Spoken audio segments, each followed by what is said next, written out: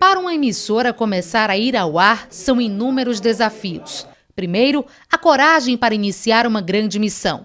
Depois em os planejamentos, estudos, pesquisas, recursos, Pedro Alcântara sempre teve como foco profissional o jornalismo político.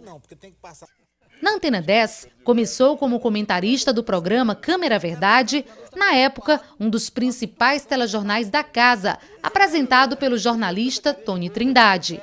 O programa era tão opinativo e polêmico que rolou até desentendimento no estúdio. Entrevista polêmica, olha, vejam que confusão eu enfrentei no estúdio.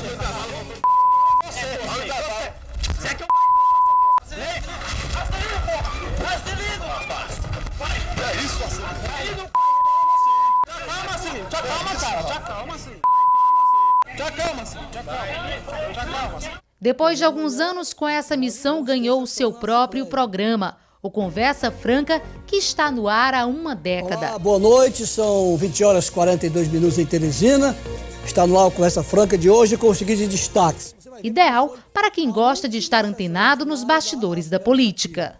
Eu fazia um programa meio-dia com o Tony Trindade, o jornal Nota 10, e eu chegava da Assembleia correndo todo dia para trazer as sonoras, as, as entrevistas e a, as matérias. E eu sentava com ele ali, ficava chamando a sonora e comentando com ele. Quando terminava, ele perguntava: ainda tem alguma coisa aí?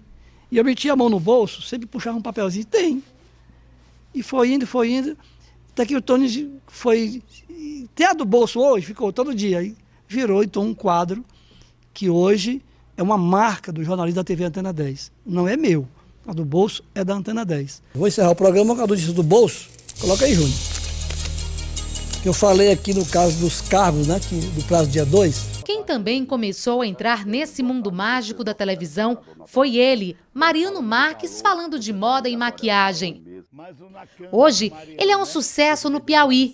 Simpatia e alegria fazendo o sábado dos piauienses ainda maior. Atualmente, a emissora conta com mais de 150 profissionais. Muitos deles estão aqui desde os primeiros anos, assim como Pedro e Mariano. Reginaldo Furtado é um deles, um dos personagens dessa história que ajuda a levar a qualidade da imagem e do áudio para a sua TV. Depois de 21 anos trabalhando na empresa, para para observar como muita coisa mudou. Para quem entrou hoje, tem mais facilidade por conta da, da, evolução que houve. Inclusive, nós fomos os primeiros a utilizar pan-tilt no carro, nas transmissões. A gente não precisa mais subir na torre para alinhar a antena. Daqui de baixo a gente faz isso tudo. Mas entre todos esses profissionais tem um que se destaca, porque está aqui na TV Antena 10 desde o primeiro dia da sua transmissão. Aliás, não foi nem no dia 19 de dezembro de 1988, quando a TV Antena 10 exibiu o primeiro programa, mas bem antes disso. E essa pessoa é a Rose. Conta pra gente como é que é isso. Você já trabalha na Antena 10 antes mesmo dela abrir suas portas? Exatamente, Cíntia. Comecei 1 de agosto de 88 e até hoje, fé em Deus, até bote mais 25 anos para frente. É, você começou exercendo uma função e agora já está em outra função, passou por vários setores, né?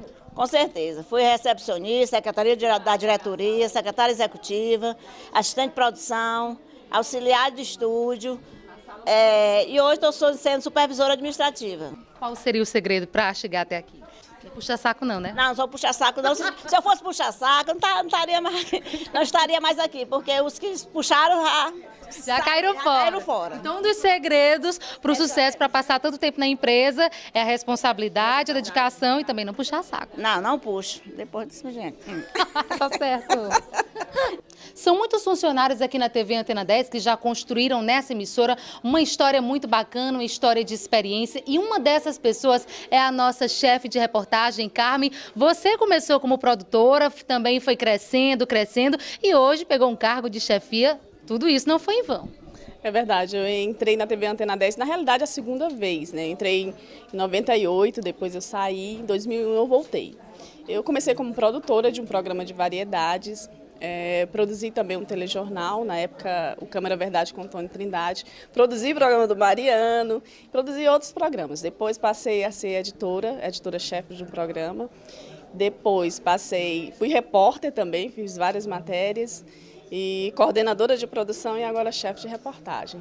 Ok, Carmen, muito obrigada. Agora a gente vai aproveitar a oportunidade. Nesse momento, muita gente está trabalhando aqui na TV Antena 10 e eu faço questão de conversar com esse profissional, Moacir. Ele está aqui de costas, ele já está dizendo que não vai dar entrevista, mas ele vai dar sim, porque a ocasião é muito especial, Moacir. Por favor, vou ter que virar a cadeira para o Moacir. Moacir, você também é um funcionário exemplar, faz parte da história da TV Antena 10, mas primeiro me responde responde, por que você não quer aparecer? Eu não gosto muito de ficar na... Eu gosto de ficar só mais por trás das câmeras, não na frente das câmeras. Você é bom mesmo é na edição, nisso você manda bem. Sempre fez isso aqui na Antena 10? Segundo os meus companheiros, é... diz que sim, né? Okay. E como é para você trabalhar nesta emissora que vem crescendo a cada dia, que vem enfrentando barreiras, que vem crescendo em, em termos de qualidade de audiência? Para mim é uma satisfação por ter acompanhado desde o começo a, a a forma de, de, trabalhar equipamento e tudo, né? A gente fica, fica espantado com a, com a evolução, né? Da, da, dos equipamentos e tudo, né? Em 1998 surgia mais um programa na casa, o Antena Esportiva, apresentado pelo jornalista Dânio Souza. Mais um que já fez de tudo na TV. Já foi operador, garoto propaganda, apresentador e depois de anos de dedicação é considerado um dos repórteres mais respeitados no estado. Eu só tenho a agradecer a oportunidade e estar de volta 10 anos depois, para mim é muito gratificante colaborar com essa, com essa casa novamente novamente. Sabe de tudo um pouquinho. Mas, Dani, não vai querer discutir com o operador-chefe da técnica, né? Essa aqui é a evolução da tecnologia. Essa aqui foi a primeira fita a ser trabalhada na TV Antena 10, fita Umatic, certo? Olha o tamanho dela.